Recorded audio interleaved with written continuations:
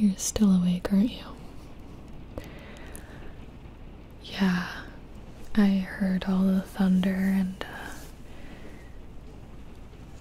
I know you usually have trouble sleeping when that happens. You used to be so scared of the thunder when you were little. Oh, yeah.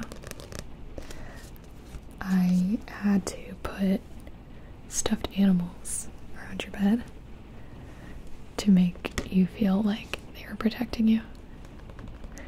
I can do that now. No? Okay. Um, but I figured I would just come in and check on you and see what's up. I can't really sleep either, so. Yeah, I, um. I actually saw this downstairs in the kitchen. Are you reading this? I love this book. Stargirl. This looks like a new copy. You bought this, didn't you? I have one in my room. You weirdo. Well, now you have your own to ruin, I suppose. Um, did you start it yet? No. Well, I actually haven't read it in a while. Do you want me to read it out loud to you? I don't mind. I kind of like miss that a little bit. Oh man. I totally, I like almost forgot about this entire story. It's not too long. I could just do a couple chapters until the thunder outside sort of calms down.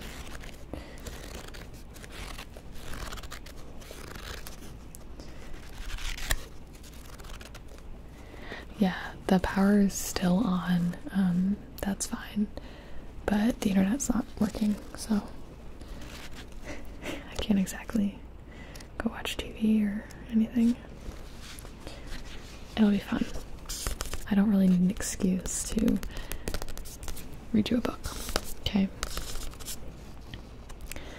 You can just sit back. Okay? And uh, let me read just a little bit. I think. One, two. Yeah, oh my god. I totally forget all of their names, but like, I get that nostalgia of I totally know this book and I know what's going on, but I also forget. The first chapter is called Porcupine Necktie. When I was little, my Uncle Pete had a necktie with a porcupine painted on it. I thought that necktie was just about the neatest thing in the world. Uncle Pete would stand patiently before me while I ran my fingers over the silky surface, half expecting to be stuck by one of the quills. Once he let me wear it. I kept looking for one of my own, but I could never find one. I was 12 when we moved from Pennsylvania to Arizona. When Uncle Pete came to say goodbye, he was wearing the tie. I thought he did so to give me one last look at it, and I was grateful. But then, with a dramatic flourish, he whipped off the tie and draped it around my neck. It's yours, he said. Going away present. I love that porcupine tie so much that I decided to start a collection. Two years after we settled into Arizona, the number of ties in my collection was still one. Where do you find a porcupine necktie in Mika, Arizona, or anywhere else for that matter? Is it mica? I don't know. That's the problem with always reading. You don't say words out loud. You don't know if you sound like an idiot. On my 14th birthday, I read about myself in the local newspaper. The family section ran a regular feature about kids on their birthdays, and my mother had called in some info. The last sentence read As a hobby, Leo Borlock collects porcupine neckties. Several days later, coming home from school, I found a plastic bag on our front step. Inside was a gift wrapped package tied with yellow ribbon. The tag said, Happy birthday. I opened the package. It was a porcupine necktie. Two porcupines were tossing darts with their quills, while a third was picking its teeth. I inspected the box, the tag, the paper. Nowhere could I find the giver's name. I asked my parents, I asked my friends, I called my Uncle Pete. Everyone denied knowing anything about it. At the time, I simply considered the episode a mystery. It did not occur to me that I was being watched. We were all being watched. I feel like nowadays you just look for one on Amazon or eBay or something.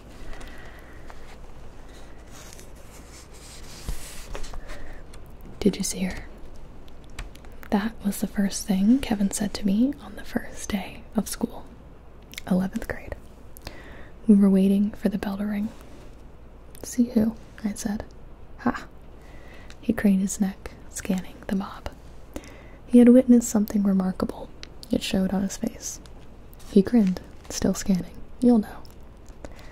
There were hundreds of us, milling about, calling names, pointing to summer tanned faces we hadn't seen since June.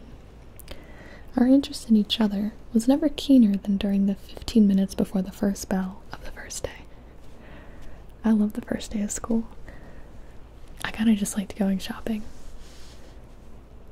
What I'm thinking of is that one time we got to get all new notebooks because you dumped an entire pitcher of water onto our stash. Yeah.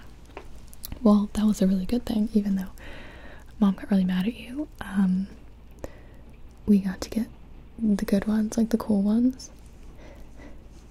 I was so sick of like those the plain solid color ones, but you know, since we had to get new ones, I got to uh, get my cool design. It was very cool that year, okay? Cool was the, the goal. I punched his arm. Who?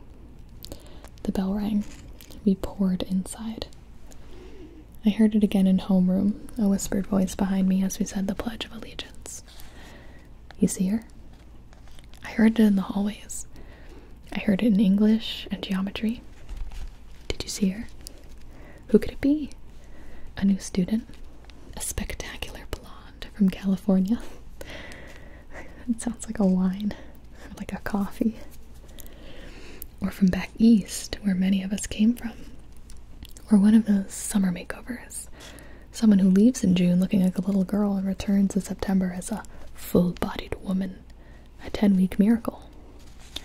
And then, in earth sciences, I heard a name Stargirl. I turned to the senior slouching behind me. Stargirl? I said. What kind of name is that? That's it. Stargirl Caraway. She said it in homeroom. Stargirl. Yeah. And then I saw her at lunch.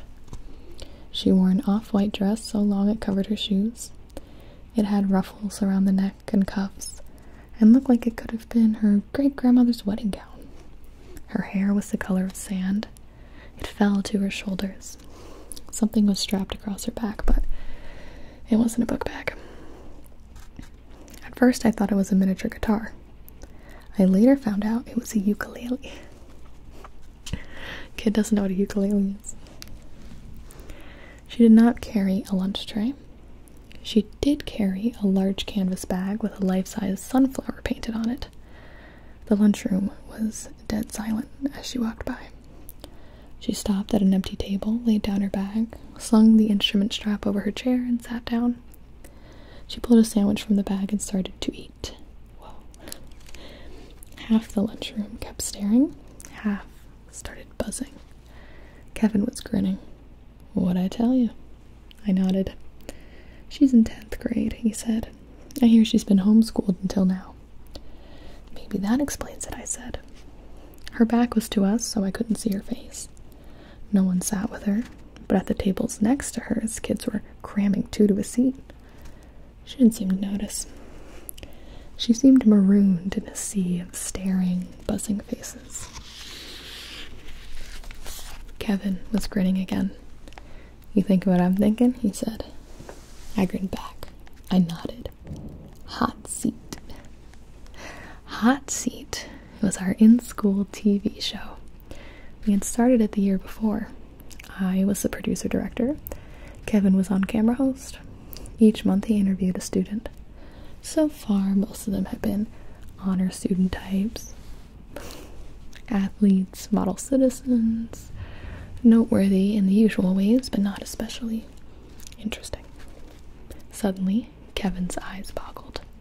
The girl was picking up her ukulele, and now she was strumming it, and now she was singing.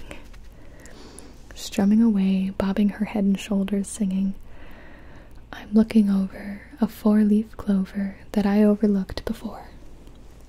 Stone silence all around. Then came the sound of a single person clapping. I looked. It was the lunch line cashier. And now the girl was standing, slinging her bag over one shoulder and marching among the tables, strumming and singing and strutting and twirling. Heads swung, eyes followed her, mouths hung open. Disbelief. When she came by our table, I got my first good look at her face. She wasn't gorgeous, wasn't ugly. A sprinkle of freckles crossed the bridge of her nose. Mostly, she looked like a hundred other girls in school, except for two things. She wore no makeup, and her eyes were the biggest I had ever seen, like deer's eyes caught in headlights. She twirled as she went past, her flaring skirt brushing my pant leg, and then she marched out of the lunchroom. From among the tables came three slow claps. Someone whistled. Someone yelped. Kevin and I gawked at each other. Kevin held up his hands and framed a marquee in the air. Hot seat. Coming attraction, Stargirl. I slapped the table. Yes. We slammed hands. They're cute. Sometimes when you read it out loud, you get the full, uh, the full effect. Here, wait one second.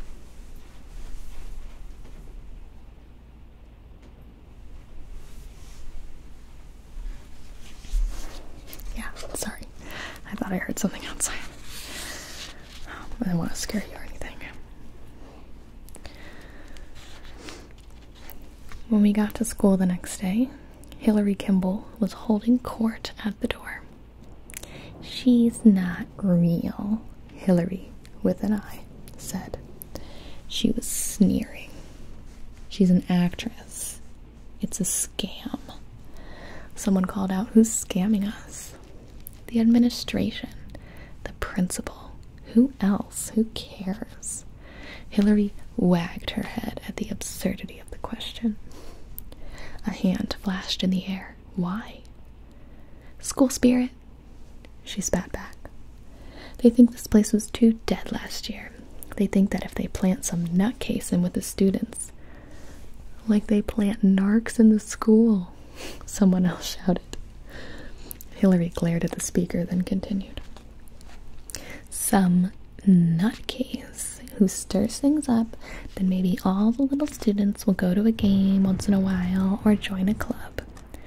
Instead of making out in the library, chimed another voice, and everybody laughed, and the bell rang, and we went in.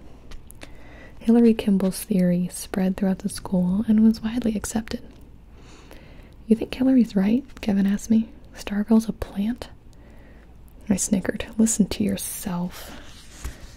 He spread his arms. What? This is Micah Area High School. Did we decide it was Micah or Mika? Arizona. it's not a CIA operation. Maybe not, he said, but I hope Hillari's right. Why would you hope that? If she's not a real student, we can't have her on hot seat. Why not? Kevin wagged his head and grinned. As usual, Mr. Director, you fail to see the whole picture. We could use the show to expose her. Expose. Can't you see it? He did the marquee thing with his hands. Hot seat uncovers faculty host. Hoax. I stared at him. You want her to be a fake, don't you? He grinned ear to ear. Absolutely. Our ratings will go sky high. Aren't their ratings just like the school?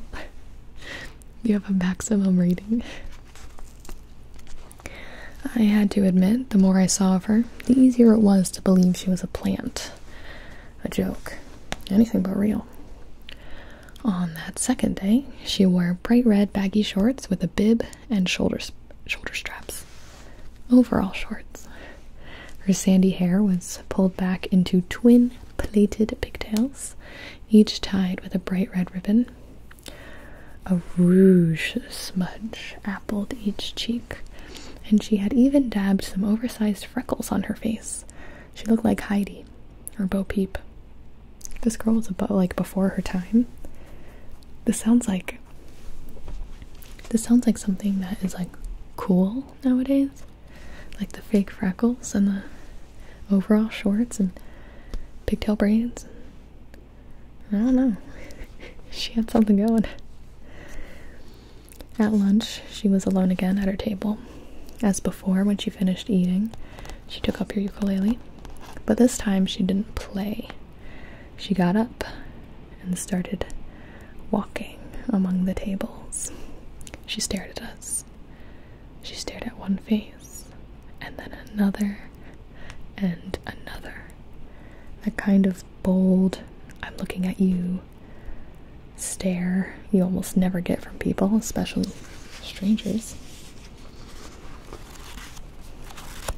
She appeared to be looking for someone, and the whole lunchroom had become very uncomfortable. As she approached our table, I thought, what if she's looking for me? The thought terrified me, so I turned from her. I looked at Kevin.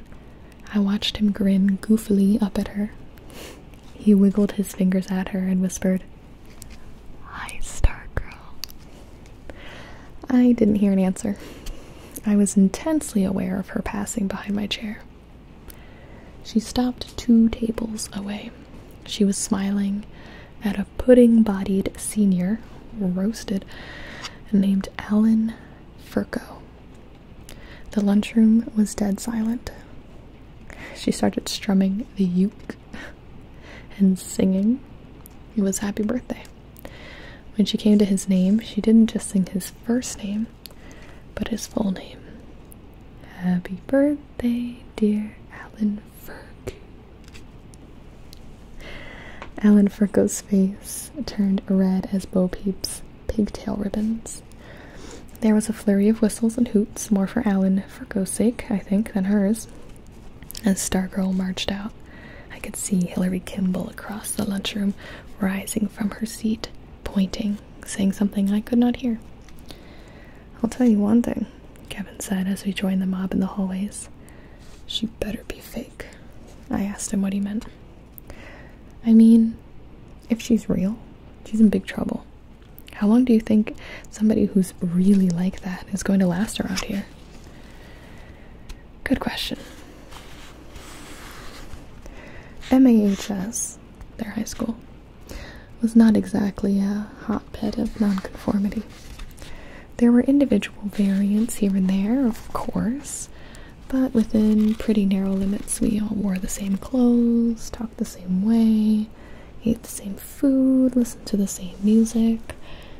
Even our dorks and nerds had an MAHS stamp on them. If we happened to somehow distinguish ourselves, we quickly snapped back into place like rubber bands. I feel like that's so, like, astute of him to know and say, like so blatantly. I feel like that's obvious without the protagonist saying it, you know. I don't know. Kevin was right. It was unthinkable that Stargirl could survive, or at least survive unchanged among us. But it was also clear that Hillari Kimble was at least half right. This person calling herself Stargirl may or may not have been a faculty plant for school spirit, but whatever she was, she was not real. She couldn't be. Several times in those early weeks of September, she showed up in something outrageous a 1920s flapper dress, an Indian buckskin, a kimono.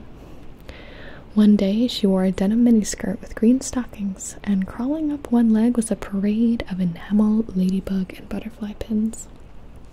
Normal for her were long, floor brushing pioneer dresses and skirts. Every day in the lunchroom, she serenaded someone new with happy birthday. I was glad my birthday was in the summer. In the hallways, she said hello to perfect strangers. The seniors couldn't believe it. They had never seen a 10th grader so bold. In class, she was always flapping her hand in the air, asking questions, um, though the question often had nothing to do with the subject. One day, she asked a question about trolls in U.S. history class. She made up a song about isosceles triangles. She sang it to her plane geometry class. It was called Three Sides Have I, but Only Two Are Equal. She joined the cross country team. Our home meets were held on the country club golf course. Red flags showed the runners the way to go. In her first meet, out in the middle of the course, she turned left when everyone turned right. They waited for her at the finish line. She never showed up. She was dismissed from the team. One day, a girl screamed in the hallway. She had seen a tiny brown face pop up from Stargirl's sunflower canvas bag. It was her pet rat. It rode to school in the bag every day. One morning, we had a rare rainfall. It came during her gym class. The teacher told everyone to come in. On the way to the next class, they looked out the windows. Stargirl was still outside in the rain, dancing. We wanted to define her, to wrap her up as we did each other, but we could not seem to get past weird strange and goofy. Her ways knocked us off balance. A single word seemed to hover in the cloudless sky over the school. Huh? Everything she did seemed to echo Hillari Kimble. She's not real. She's not real. And each night in bed, I thought of her as the moon came through my window. I could have lowered my shade to make it darker and easier to sleep, but I never did. In that moonlit hour, I acquired a sense of the otherness of things. I liked the feeling the moonlight gave me, as if it wasn't the opposite of day, but its underside, its private side, when the fabulous purred on my snow white sheet like some dark cat coming from the desert. It was during one of those night moon times that it came to me that Hillari Kimble was wrong. Stargirl was real. This kid all of a sudden became very, uh, literate, very Shakespeare. I liked the feeling the moonlight gave me, as if it wasn't the opposite of day, but its underside, its private side, when the fabulous purred on my snow white sheet like some dark cat coming from the desert. What high school kid talks like that? I don't know. Leo, apparently. Well, want to do one more chapter? Okay. I think the thunder's pretty much gone anyway. But it's good, isn't it? It's really good. should definitely finish it tomorrow, though. You should definitely get some sleep, of course. Okay, let me do this chapter. Chapter 3 We fought daily, Kevin and I. My main job as producer was to recruit people for a hot seat. After I signed someone up, Kevin began researching the person, getting his questions ready. Every day he asked me, Did you sign her up? Every day I answered no. He got frustrated. What do you mean, no? Don't you want her to sign up? I told him I wasn't sure. His eyes bugged out. Not sure? How can you not be sure? We high fived in the lunchroom weeks ago. We were thinking Stargirl miniseries, even. This is a hot seat from heaven. I shrugged. That was then. Now I'm not sure. He looked at me like I had three ears. What's there to be not sure about? I shrugged. Well, then, he said, I'll sign her up. He walked away. You'll have to find another director then, I said. He stopped. I could almost see the steam rising from his shoulders. He turned, pointed. Leo, you can be a real jerk sometimes. He walked. It was uncomfortable. Kevin Quinlan and I usually agreed on everything. We had been best friends since arriving in Arizona the same week four years before. We both thought the prickly pear cactus looked like ping pong paddles with whiskers, and that saguaros looked like dinosaur mittens. I don't know what that is, do you? we both loved strawberry banana smoothies.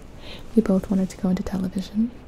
Kevin often said he wanted to be a sleazy talk show host, and he wasn't kidding. I wanted to be a sports announcer or news anchor. We conceived Hot Seat together and convinced the faculty to let us do it. It was an instant hit. It quickly became the most popular thing in school. So, why was I balking? I didn't know. I had some vague feelings, but the only one I could identify was a warning leave her alone. In time, Hillari's hypothesis, so called by Kevin, about Stargirl's origins gave way to other theories. She was trying to get herself discovered for the movies. She was sniffing fumes. She was homeschooling Gunamuck. She was an alien. The rat she brought to school was only the tip of the iceberg. She had hundreds of them at home, some as big as cats. She lived in a ghost town in the desert. She lived in a bus. Her parents were circus acrobats. Her parents were witches. Her parents were brain dead vegetables in a hospital in Yuma. We watched her sit down in class and pull from her canvas bag a blue and yellow ruffled curtain that she draped over three sides of her desk. We saw her set out a three inch clear glass vase and drop in it a white and yellow daisy she did and undid this in every class she attended six times a day. Only on Monday mornings was the daisy fresh. By last period, the petals were drooping. By Wednesday, the petals began to fall, the stem to sag. By Friday, the flower hung down over the rim of the waterless vase, its dead stump of a head shedding yellow dust in the pencil groove. We joined her as she sang happy birthday to us in the lunchroom. We heard her greet us in the hallways and classrooms, and we wondered how she knew our names and our birthdays. Her in headlights eyes gave her a look of perpetual astonishment, so that we found ourselves turning and looking back over our shoulders, wondering what we were missing. She laughed when there was no joke. She danced when there was no music. She had no friends, yet she was the friendliest person in school. In her answers in class, she often spoke of seahorses and stars, but she didn't know what a football was. She said there was no television in her house. She was elusive. She was today, she was tomorrow. She was the faintest scent of a cactus flower, the flitting shadow of an elf owl. We did not know what to make of her. In our minds, we tried to pin her to a corkboard like a butterfly, but the pin merely went through and away she flew. Kevin wasn't the only one. Other kids pestered me. Put her on the hot seat. I lied. Said she was only a 10th grader and you had to be at least a junior to be on hot seat. Meanwhile, I kept my distance. I observed her as if she were a bird in an aviary. One day I turned a corner and there she was, coming right at me, the long skirt softly rustling, looking straight at me, surrounding me with those eyes. I turned and trotted off the other way. Seating myself in my next class, I felt warm, shaken. I wondered if my foolishness showed. Was I myself becoming goofy?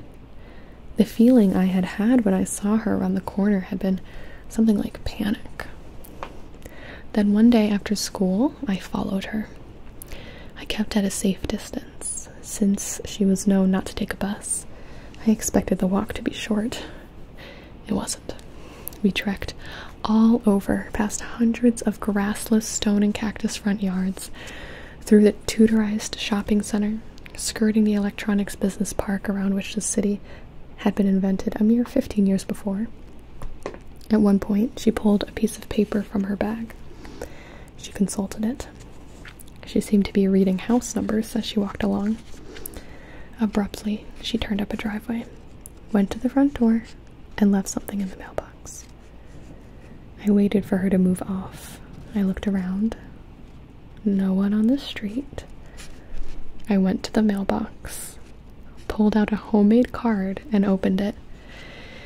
Each tall letter was a different painted color. The card said, Congratulations. It was unsigned. I resumed following her. Cars pulled into driveways. It was dinner time. My parents would be wondering. She took the rat from the bag and put it on her shoulder. Riding there, the rat faced backwards, its tiny triangular face peeping out of her sand colored hair.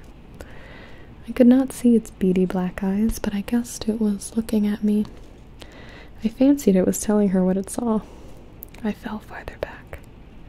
Shadows crossed the streets. We passed the car wash and the bike shop. Passed the country club golf course, the biggest spread of green grass until the next golf course in the next town. We passed the welcome sign. We were walking westward. There was us, and the highway, and the desert, and the sun blazing above the mountains. I wished I had my sunglasses. After a while, she veered from the highway. I hesitated, then followed. She was walking directly into the setting sun, now a great orange perched atop the mountain crests. For a minute, the mountains were the same dusky lavender as her sand skimming skirt. With every step, the silence grew, as did my sense that she knew, had known all along, that she was being followed. Or more, that she was leading me. She never looked back. She strummed her ukulele. She sang. I could no longer see the rat. I imagined it was dozing in the curtain of her hair. I imagined it was singing along. The sun lay down behind the mountains. Where was she going? In the gathering dusk, the saguaros flung shadows of giants across the pebbled earth. The air was cool on my face. The desert smelled of apples. I heard something. A coyote? I thought of rattlesnakes and scorpions. I stopped. I watched her walk on. I stifled an impulse to call after her, to warn her of what? I turned and walked, then ran back to the highway. Kind of reminds me of Nick from um, from Great Gatsby.